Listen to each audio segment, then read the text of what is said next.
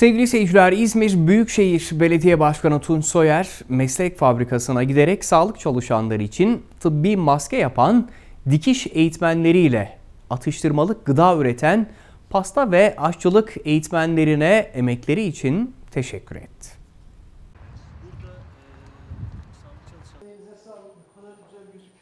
İzmir Büyükşehir Belediye Başkanı Tunç Soyer, koronavirüs salgın nedeniyle risk altında çalışan sağlık personeli için tıbbi maske ve atıştırmalık gıda üreten İzmir Büyükşehir Belediyesi meslek fabrikasının çalışanları ve gönüllülerini ziyaret etti. Mesai saatleri uzayan sağlık çalışanları için poğaça ve kurabiye yapan eğitmenlere çok iyi bir iş yapıyorsunuz, sağlık çalışanlarımızın motivasyonunu artırıyorsunuz diyen Soyer, günde yaklaşık 2000 maske üreten dikiş eğitmenlerine de elinize, emeğinize sağlık dedi.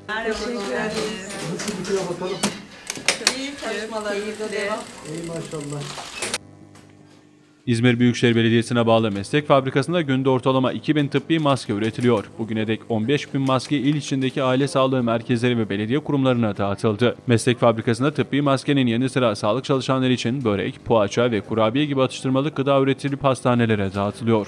Eksik olmayın. Çok sağ olun. Elinize emeğinize sağlık. Çok teşekkür ediyoruz arkadaşlar. Elinize emeğinize sağlık. Çok sağ olun. Kolay gelsin hepinize. Seviliyorsunuz başkanım.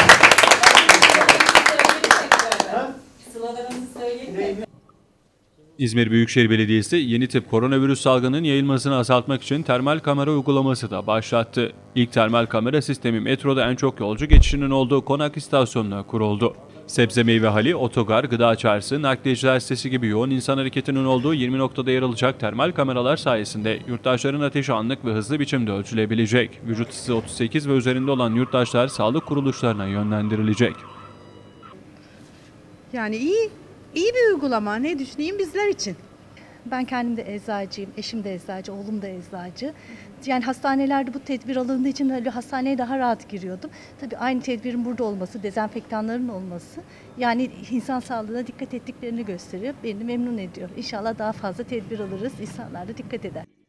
İzmir Büyükşehir Belediye Başkanı Soyer, virüsün yayılma hızı daha ciddi şekilde kontrol etmemiz gerekiyor. Belediye binalarımızın girişlerinde yurttaşlarımızın kontrollerini ateş ölçerlerle yapıyorduk. Bu tür toplu ulaşım noktalarında, aktarma alanlarında, sebze, meyve ve su ürünleri halinde, nakliyeciler ve gıda çarşısı gibi yoğun vatandaş hareketinin olduğu noktalarda termal kameralarla yüksek ateş tespitini yapacağız dedi.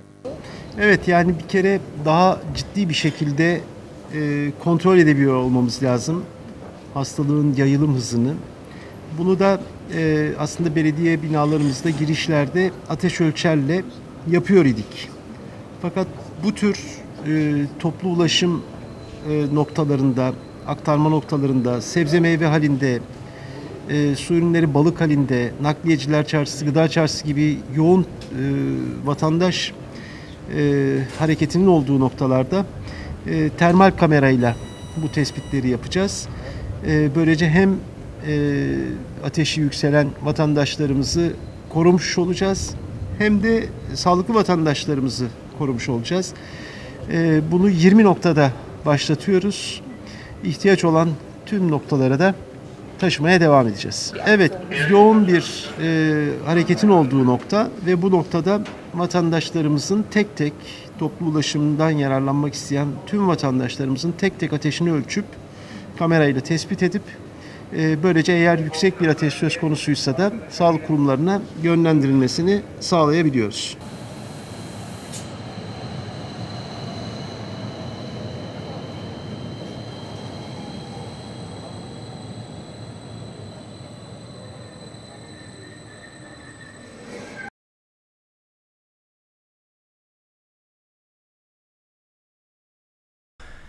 Sevgili seyirciler, Denizli Büyükşehir Belediyesi 800 yılı aşkın süredir Denizli'de alışverişin merkezi konumunda yer alan tarihi kale içi çarşısıyla çarşı içerisinde yer alan 650 iş yerini baştan aşağı dezenfekte etti. Denizli Büyükşehir Belediyesi koronavirüse karşı aldığı tedbirler kapsamında şehrin yoğun olarak kullanılan noktalarında dezenfekte ve hijyen çalışmalarına devam ediyor.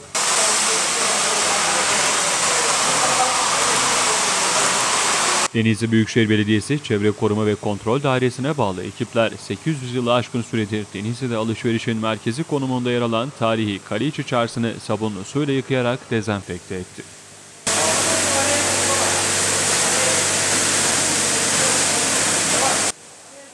Çarşı içerisinde yer alan 650 iş yeri de Sağlık Bakanlığı, Halk Sağlığı Genel Müdürlüğü tarafından ruhsatlı biyosidal ürünlerle özel ekipler tarafından dezenfekte edildi. Esnaf ve vatandaşların büyük bir memnuniyetle karşıladığı çalışmayı gerçekleştiren Büyükşehir Belediyesi ekipleri, tarihi çarşı içerisinde bulunan oturma ve dinlenme alanlarında da dezenfekte işlemi yaptı.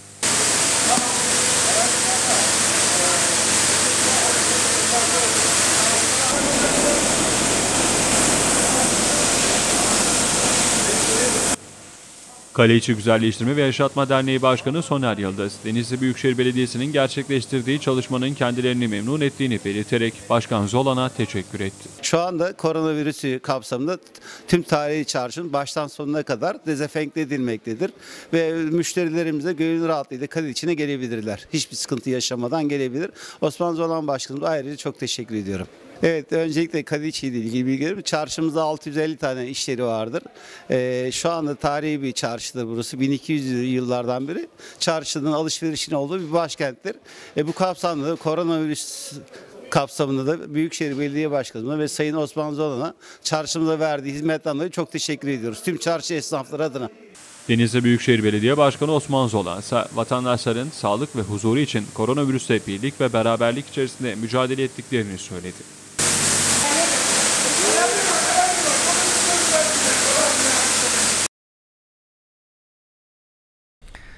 Manisa'nın Kırkağaç ilçesi Gelembe mahallesinde diğer illerden Manisa'ya gelen vatandaşlara ateş ölçümü yapılıyor ve 14 günlük karantina süresine ilişkin tebligatlar gerçekleştiriliyor.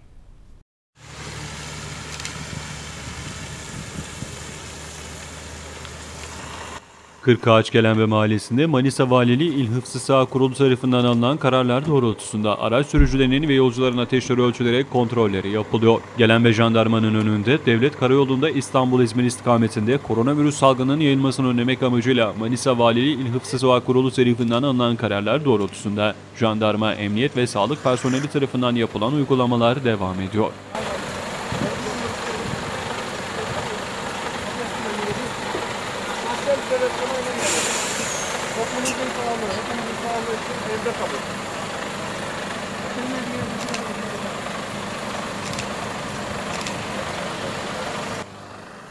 Yaz kış, kar çamur demeden halkı için milletinin huzur ve güvenliği için mücadele veren jandarma ve emniyet güçleriyle sağlık çalışanları yine vatandaşın sağlığı için görev başında. İstanbul istikametinden gelip İzmir istikametine giden tüm araçlar Kırkağaç Jandarma, Akhisar İlçe Emniyet Müdürlüğü Bölge Trafik Amirliği ekipleri ve Akhisar İlçe Sağlık Müdürlüğü ekiplerince uygulama noktasında durdurularak vatandaşların sağlık kontrolleri yapılıyor.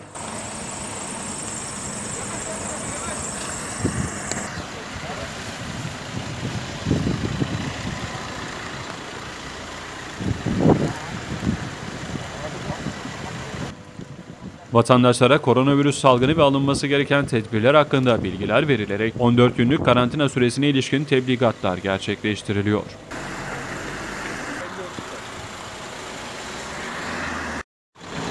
Tüm araçların nereden gelip nereye gittiği sorulan ve ilçe sağlık müdürlüğü ekiplerince sürücü ve araç içerisinde bulunanların ateşleri ölçülürken jandarma ve bölge trafik ekiplerince de yolcuların ve sürücülerin sosyal mesafeleri kontrol edilip kontrolleri tamamlanan sürücülere tebligatlar yapılıyor.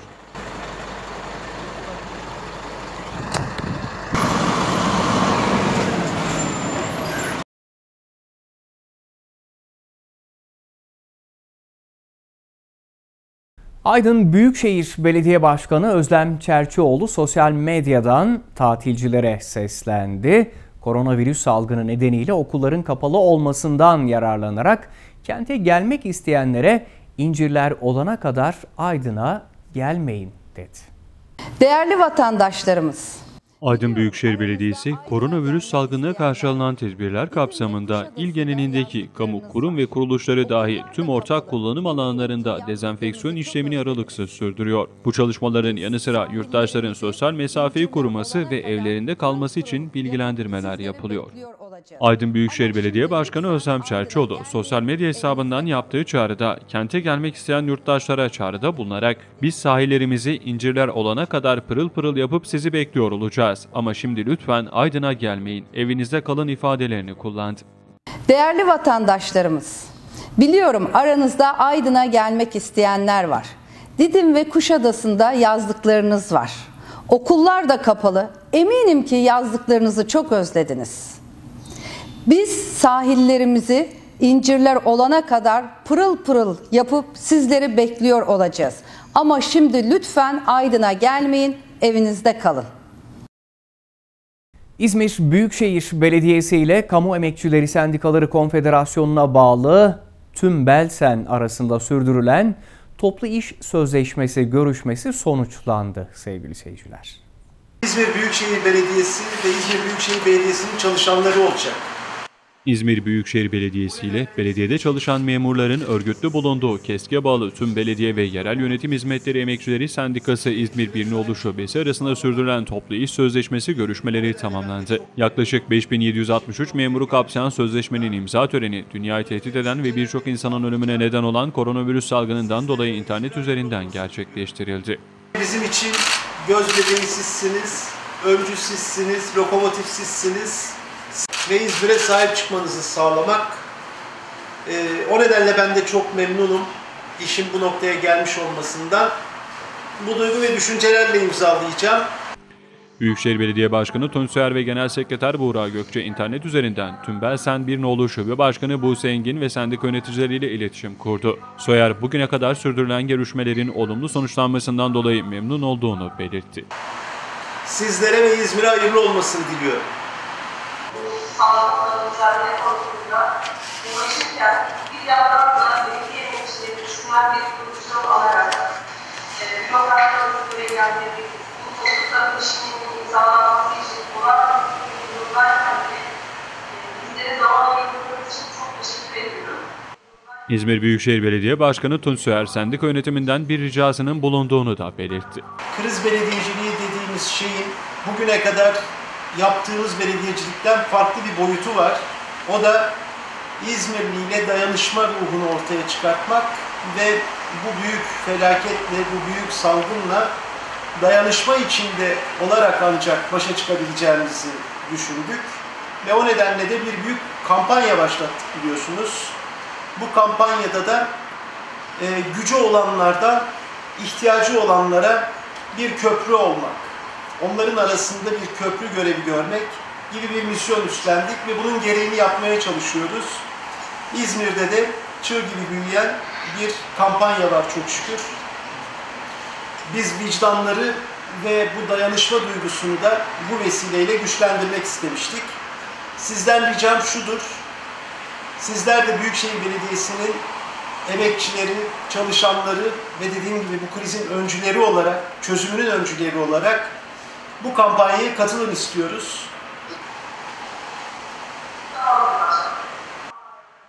Soyer, imzaladıkları sözleşmenin İzmir ve Türkiye'deki tüm belediyelere örnek olmasını istedi, sözleşmenin bir model olarak da yayılması temennisinde bulundu. Evet, biz de size gösterdiğiniz işbirliği için ve birlikte hareket etme iradesini ortaya koyduğunuz için ayrı ayrı çok teşekkür ediyorum. Ve diliyorum ki bugün yaptığımız, bugün imzalayacağımız bu sözleşme tüm İzmir'deki belediyelere, tüm Türkiye'deki belediyelere örnek olur ve bir model olarak da yayılır. Bu duygu ve düşüncelerle sizlere İzmir'e hayırlı olmasını dileyerek imzayı atıyorum. Aynı anda atıyoruz imzayı Buse Hanım. Hayırlı uğurlu olsun. Göreyim bakayım. Atıyoruz. Attık mı? Tamam. Aynı anda attık. Hayırlı Hayırlı uğurlu olsun inşallah. Hepinizi sevgiyle, saygıyla selamlıyorum arkadaşlar. Memurlarımızı alkışlıyoruz.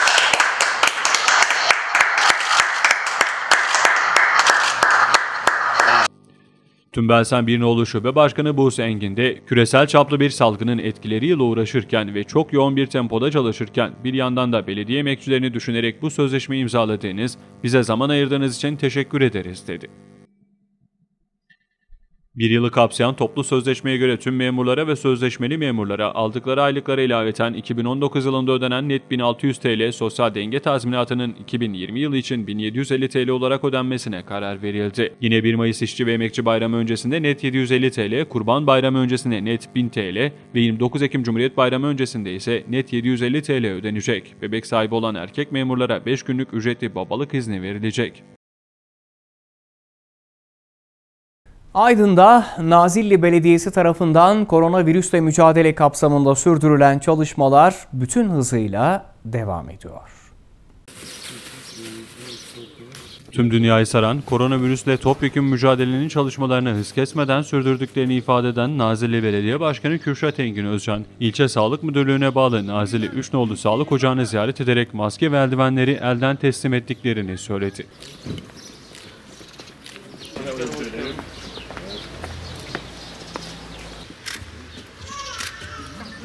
Tamam teşekkür ederim. Ama biz ihtiyaç fazlası olabileceğini düşündük.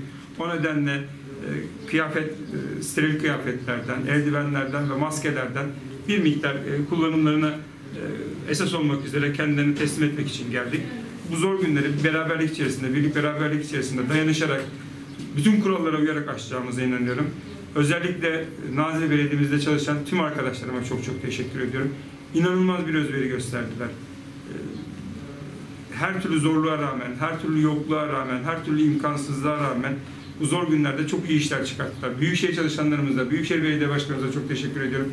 Bir bütün olduk. Sayın Kaymakam Bey'imize çok teşekkür ediyorum. Bir önderlik yaptı, bir e, devlet adamı e, olarak gerçek e, niteliğini de ortaya koydu. Bütün kurumları eşgüdümünde dahilinde Nazilli'deki bütün meselelere, meselelerin çözümü noktasında hareket ettiler. Dediğimiz gibi dün acı bir kaybı da yaşadı sağlık camiası. Evet. Çok değerli bir hocayı kaybettik. Elbette her bir can çok çok kıymetli. Ama şu anda sağlık personelleri bu savaşın yürütücüsü oldukları için, savaşçısı oldukları için, onlar olmadan bu mücadele sonuçlanamayacağı için özellikle biz daha çok hijyen sağlansın, daha steril ortamlar oluşsun, hiçbir bulaşım olmasın diye biz bugün yanlarında olduklarını, yanlarında olduğumuzu göstermek için bu şekilde bir ziyarette bulunduk bütün Nazilli'deki sağlık ocaklarına aynı şekilde yardımda bulunacağız. İnşallah e, Nazilli'mizde, Aydın'ımızda ve ülkemizde e, vakasız, kazasız, ölümsüz bir süreç işler bundan sonrası için. İyileşme süreçleri daha hızlı olur. Hiçbir can kaybına sebebiyet vermeden, hiç kimsenin hakkını da ihlal etmeden bu zor günleri aşacağımıza inanıyorum. Çok teşekkür ederim. Vatandaşımıza da özellikle çok dikkatli olmasını istiyorum. Çok kritik bir süreçti. En başından beri kritik bir süreçteydik ama işte hekimlerimizin söylediği, uzmanlarımızın söylediği bazı dönemler sıçrama yaptığı dönemlerdir. Ama onu anlatıyorlar. Kuluçka döneminin sonlandığı ve ortada daha fazla yayılmanın olduğu dönemler olduğunu belirtiyorlar. Bu süreçlere çok çok dikkat etsinler. Hiç zorunda olmadıkça evlerinden kimse dışarıya çıkmasın. Kişisel hijyenlerine de dikkat etsinler. İnşallah bu zor günler geçecek. Yine mutlu, iyi, neşeli günlere tekrar kavuşacağız. Bu Türk milletinin hasletlerinden bir tanesidir. Bu zor günleri beraber aşacağız arkadaşlar. Nazilli Üçnoğlu Sağlık Ocağı'nın sorumlu hekimi Doktor Orhun Öner de virüsle mücadeleye başladığımız ilk günden bu yana Aydın İl Sağlık Müdürlüğümüz bizlere büyük destek veriyor. Şu ana kadar herhangi bir sıkıntı yaşamadık dedi. Başladığı ilk günden itibaren Sağlık Müdürlüğümüz, Aydın İl Sağlık Müdürlüğümüz kişisel koruyucu donanımları ve malzemeleri temin ettiler. Hiçbir sıkıntı yaşamadık. Ama şu yoğun günlerde malzemeleri daha fazla tüketmekteyiz. Bir maske 4 saatlik ömrü vardır. Günde iki sefer maske değiştiriyoruz. İşte bu dönemde e, Nazilli Belediye'mizin e, kişisel koruyucu donanım, tulum, maske ve malzemeleri temin etmesi bizim moral ve motivasyonumuzu arttırdı ve bize destek oldu. Bu sebepten dolayı başta belediye başkanımız olmak üzere başkan yardımcılarımıza ve Nazilli Belediyesi'ne şükranlarımızı sunuyorum. Teşekkür ediyorum. Belediye Başkan Yardımcıları Mert Öreroğlu, Kadir Mutlu ile birlikte zabıta müdürü ve diğer kurum amirleri sağlık çalışanlarına başarı diledi. Mümkün olduğunca uzak duruyoruz. Sosyal mesafemizi koruyacağız. El temizliği, vücut temizliği, kırlı kıyafet temizliği her şeye dikkat edeceğiz. Karacasu Belediyesi tarafından koronavirüsle mücadele kapsamında hizmet binası girişine dezenfekte tüneli kuruldu.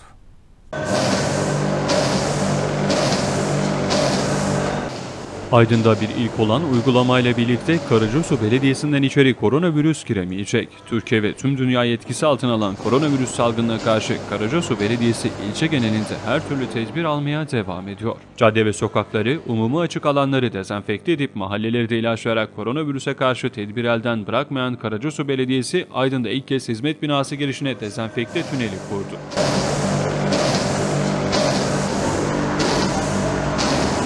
Vatandaşların yoğun olarak girip çıktığı belediye hizmet binasının girişine kurulan dezenfekte tünelinden test geçişi yapan Karacasu Belediye Başkanı Zeki İnal, koronavirüsü ilk baş gösterdiğinden bu yana sıkı tedbirler alarak mücadelemize devam ediyoruz. Karacasu Belediyesi olarak insanı yaşat ki devlet yaşasın düsturuyla hareket ediyoruz ifadelerini kullandı.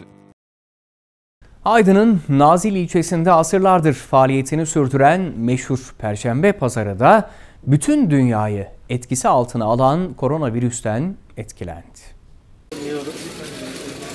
Nazilli Belediye Başkanı Kürşat Engin Özcan sabah erken saatlerde ziyaret ettiği Perşembe Pazarı'nda hem sıkı denetim yaptı hem de alınan tedbirleri yerinde inceleyerek pazarcı esnafı başta olmak üzere alışveriş yapan vatandaşları uyararak sosyal mesafe kuralına uymalarını istedi.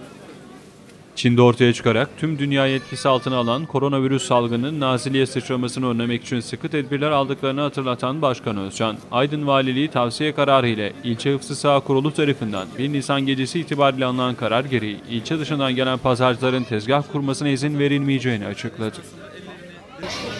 İyi günler. Dikkat edin mesafenizi koruyun. Beraberinde Nazilli Manavlar ve Pazarcılar Odası Başkanı Kemal Cansız ve zabıta ekipleriyle tek tek tezgahları dolaşarak pazarcıların ateş ölçümünü yapan Başkan Özcan, sosyal mesafe kuralına uyulması hususunda uyarılarda bulundu. Başkan Özcan, salgının yayılmasını önlemek ve halk sağlığının korunması için kurallara riayet edilmesi gerektiğinin altını çizdi. Pazarcı esnafı ve alışveriş yapan vatandaşların da büyük takdir topladığı uygulamalarda zorlanan vatandaşlara belediye görevleri rehberlik ederek yardımcı oldu. Belediye çalışanları ve vatandaşlar yaptıkları açıklamalarda uygulamadan memnun olduklarını söylediler. Merhabalar ben Engin Tulumbacı, Nazilli Belediyesi sağlık personeliyim. Nazilli Belediye Başkanımız Sayın Kürşat Engin Özcan'ın talimatlarıyla ülkemizde de baş gösteren koronavirüsten korunma kapsamında böyle bir çalışma yaptık. Nazilli'mizin birçok noktasına acil olarak e, dezenfektan istasyonları kurduk. Pazar yerlerine veya çarşıya giriş çıkış yapan vatandaşlarımızın ellerini hızlı bir şekilde dezenfekte edip bu hastalıktan korunmak adına ilk çalışmayı böyle başlattık. Bunun yanında da bizler sağlık personeli olarak hem belediyemizin giriş çıkışında hem de pazarımızın farklı noktalarında vatandaşlarımızın vücut ısılarını kontrol ederek bu hastalıkla veya virüsle alakalı bilgilendirmelerde bulunup kontrol altında kalmalarına yardımcı olmaya çalışıyoruz. Bu kontrolleri yaparken vatandaşlarımıza vücut ısıları yüksek olursa yani özellikle 37 veya 38 bandında olursa bunların üzerinde olursa en yakın sağlık kuruluşuna veya aile hekimlerine hızlıca müracaat etmelerini istiyoruz. Özellikle vatandaşlarımızla konuşurken sosyal mesafeye uymalarını söylüyoruz. Çünkü bu virüs e, ağızdan çıkan damlacıklar yoluyla veya enfekte olan insanların ellerini, gözlerini, ağzını ya da burnunu ellemesiyle e, vücuda girmesiyle oluşuyor. Özellikle vücut ısısını ölçüp hem ellerini dezenfekte etmesini aynı zamanda sosyal mesafeyi koruyarak kendi e, sağlık izolasyonumuzu yapmaya yardımcı oluyoruz. Gayet iyisiniz. İnsanlarla sosyal mesafenize de dikkat edin. Mesafe. Biz de Vefa grubunda, ilçe sağlık müdürlüğündeyim. Vefa grubunda da görevliyim. Ee, şu anda da çarşıyı kontrol için çıkmış bulunuyorum. Çok teşekkür ediyoruz. Herkes canla başla mücadele ediyor. Ee, bilim kurulunu da her akşam izliyoruz. Sağlık Bakanı'nın açıklamalarını da dinliyoruz. Ee, koronavirüsle mücadele için herkesin evde kalması, dışarı çıkmaması ve 14 kurala uyması gerekiyor.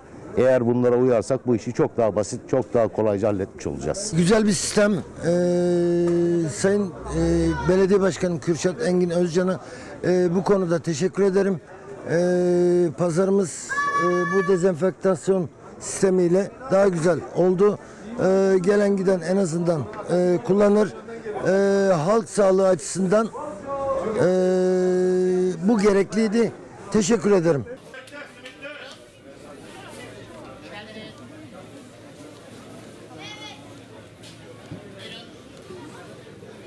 Sevgili seyirciler, bütün imkanlarını Covid-19 pandemisiyle mücadeleye ayıran Bodrum Belediyesi bir taraftan da bu yıl Mayıs sonu itibarıyla başlaması düşünülen turizm sezonu için hazırlıklarını sürdürüyor.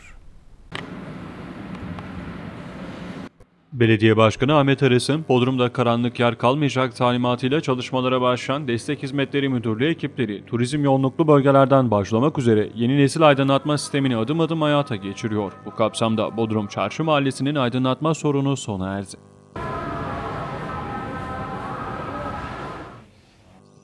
Belediye ekipleri Çarşı Mahallesi'nde Cumhuriyet, Kale ve Doktor Halim Bey caddeleriyle bağlı bulunan sokaklarda yaptıkları çalışmalarla eski sokak lambalarını sökerek yerlerine 60 adet yeni nesil led lamba taktı. Yapılan çalışmayla şu an için %50 elektrik tasarrufu sağlanırken lambalara takılacak hareket ve zamanlayıcı sensörler sayesinde elektrik tasarrufunun %70'lere ulaşması hedefleniyor. Lambaların kullanıma girmesinin ardından cadde ve sokaklar daha aydınlık bir görüntüye kavuştu. Kum bahçesi halinde ise esnafların istekleri doğrultusunda sokak lambaları bina yanlarından alınarak sahil tarafına taşındı. Öte yandan Türk Büküs halinde başlatılan altyapı çalışmalarıyla birlikte yeni nesil led lambalarının yerleştirilmesi işlemi de tamamlandı.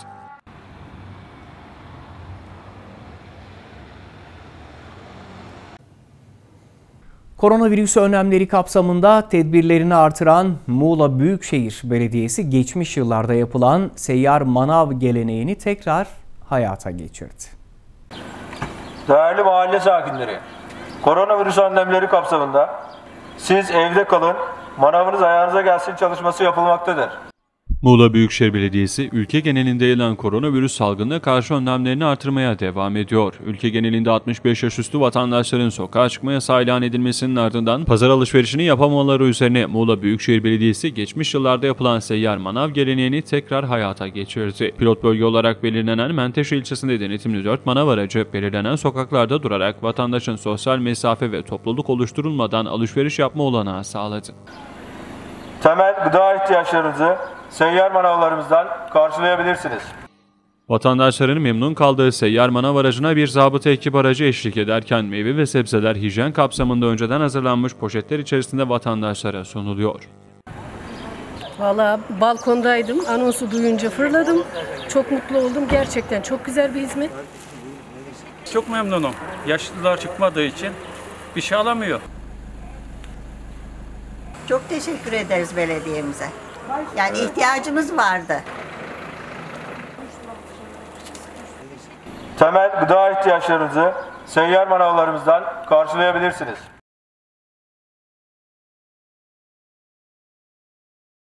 Koronavirüs için her türlü önlemi alan Karacasu Belediyesi temizlik çalışmalarını aralıksız sürdürüyor.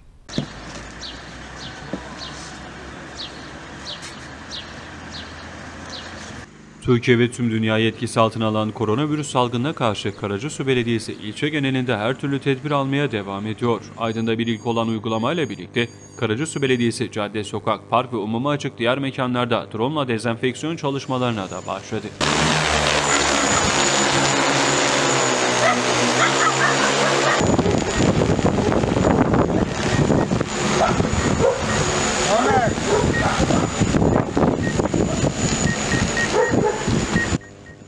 Cadde ve sokakları, umuma açık alanları dezenfekte edip mahalleleri de ilaçlayarak koronavirüse karşı tedbir elden bırakmayan Karacasu Belediyesi, Aydın'da ilk kez drone ilaçlama çalışmalarına başladı. Vatandaşların yoğun olarak bulunduğu cadde ve sokakları, umuma açık alanları drone ilaçlatan Karacasu Belediye Başkanı Zeki Nal, koronavirüsle mücadelede her türlü önlemlerimizi artırarak almaya devam ediyoruz dedi. İnsanı yaşat ki devlet yaşasın düsturuyla gündemimizin, e, gündemimizde olan koronavirüsle mücadeleyi e, her, her alanda her gördüğümüz şeyde en, ve en son teknolojiyle de yapmaya çalışıyoruz. Gördüğünüz gibi drone ile de ilaçlama yaparak koronavirüs ile mücadeleyi ilçemizde en hat safha, en hat safhaya getirmiş durumdayız. İnşallah e, bir an önce koronavirüsten e, kurtulma dileğiyle elimizden gelen ve yapabildiğimiz en e, yüksek yüksek e, açıda çalışmalarımızı devam, devam ettireceğiz.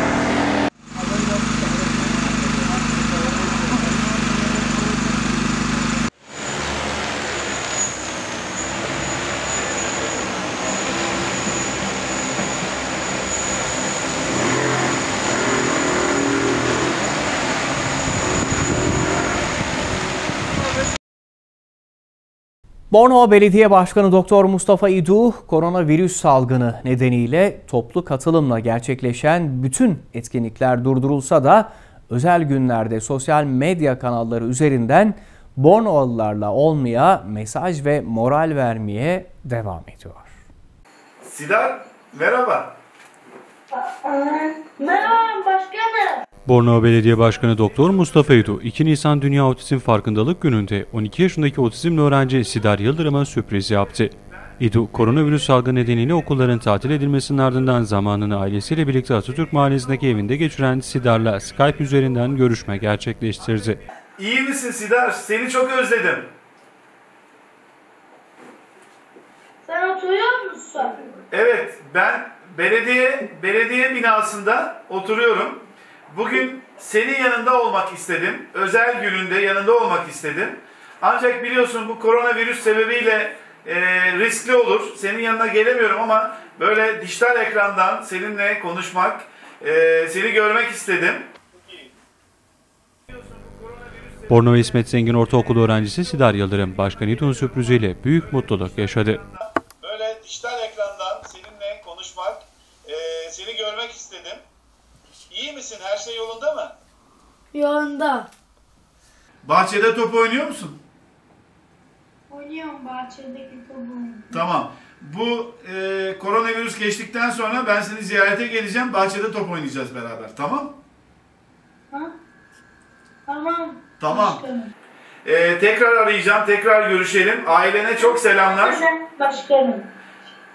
Geldin başkanım. Seni çok seviyorum. Ailene çok selamlar. Teşekkür ederim. Sen seviyor musun? Seni çok seni çok seviyorum.